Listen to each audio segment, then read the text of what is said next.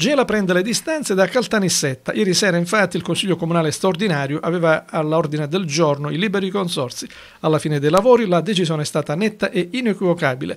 Gela esce dal libero consorzio di Caltanissetta e valuterà l'adesione ad altri liberi consorsi. Il Consiglio ha subito chiarito che con queste regole non potrà nascere nessun libero consorzio in Sicilia, vista la chiara intenzione dei legislatori siciliani a mantenere le nove ex province integre ed è stata quindi sottoposta all'attenzione dei consiglieri la possibilità per Gela di cambiare consorzio e dunque innescando un processo che lascia aperti la speranza di una nuova rimodulazione dell'ente intermedio.